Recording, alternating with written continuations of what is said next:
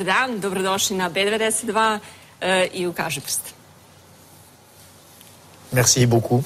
Hvala puno. Dakle, prije e, razgovora o vašem konkretnom povodu e, za dolazak u Beograd i Beldoksu, ja bih hvala s vama e, da nam prosto prenesete utiske o Francuskoj e, nakon izbora. Dakle, šta čini Francuskom sada drugačijom nakon što je Macron novi predsjednik?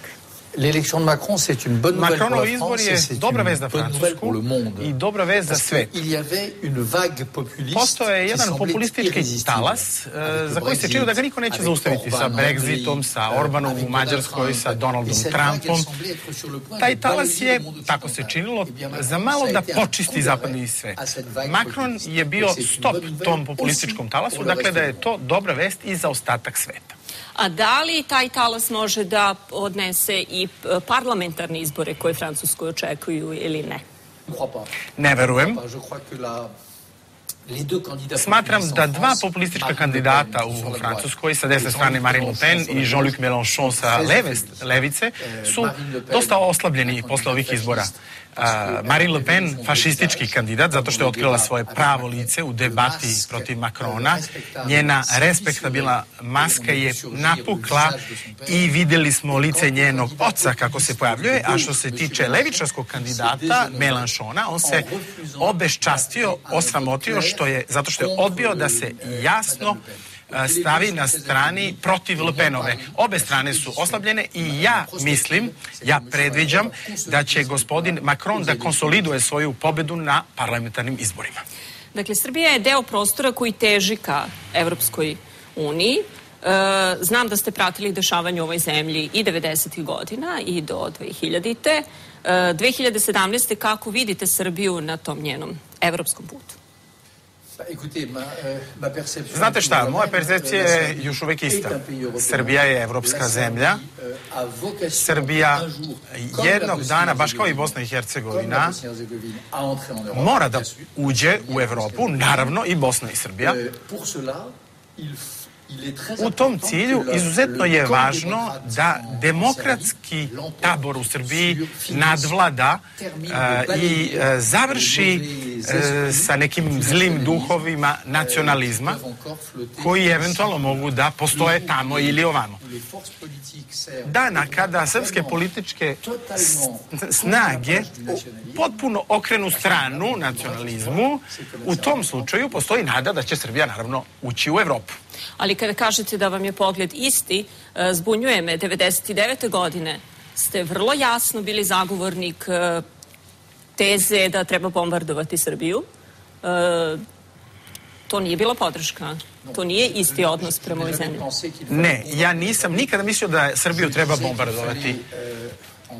Rekao sam da 1992. 3. i 4. trebalo je da se prestane s bombardovanjem Sarajeva, a 98. i 99. smatrao sam da je bilo potrebno da Kosovo postane a, autonomno, odnosno nezavisno. Nikada, a, za mene Srbija to je zemlja Gorana Markovića, Srbija je zemlja Filipa Davida, na neki način je i to zemlja Danila Kiša. Ja sam došao u Srbiju krajem 1991. godine, bio sam pozvan od strane kluba književnika. i bio sam vrlo impresioniran u to vreme tim demokratskim talasom koji je zapljusnuo Srbiju. Međutim, nacionalizam je tada pobedio. Miloševićev nacionalizam. To je drama Srbije. Vi ste bili na rubu velike demokratske revolucije i Milošević je izvao kontrarevoluciju. Da iskoristimo vreme za kraj, dakle došli ste u Beograd e, sa dva dokumentarna filma. Dakle, kako biste ih preporučili beogradskoj publici, imajući u vidu da će praktično za sat vremena imati premijeru? La recommandation, euh, non, j'espère. Koja bi bila moja preporuka, neću je dati i ja se nadam da će beogradska publika pogledati moja dva filma. Qui I naravno, ne samo danas, nego u nekom narednom periodu. To su filmovi o ISIS-u, to su filmovi o e, islamistima. Ja sam godinu dana pratio ljude koji se bore protiv njih. To znači, pratio sam Kurde, pratio sam ih duž granice između ISIS-ove teritorije Kurdistana i bio sam sa njima za vreme bitke u Mosulu, bitka koja i dalje traje u Mosulu, bitka za oslobođenje tog grada. Sa jednom malom ekipom snimatelja sam bio. Mi smo ušli u Mosul sa Kurdima, a zatim sa iračkom vojskom, da snimamo oslobođenje grada. Taj film, to je jedno jedinstveno iskustvo, rekao bih, iskustvo oslobođenja jednog grada koga okupira islamistički fašizam, a oslobađaju ga demokratske snage. Od Sarajeva do Mosula, to je ista borba koju sam vodio ceo život. Dakle, najteže kritike o vama e, glase negde, svode vas e, na to da ste filozof koji voli rat.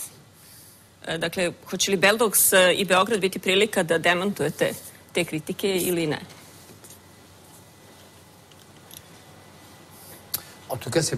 U svakom slučaju, ja to ne mislim. Ja nisam filozof koji voli rat. Sigurno ne. Ja previše dobro znam rat da bi ga voleo. Smatram da je rat odvratna stvar.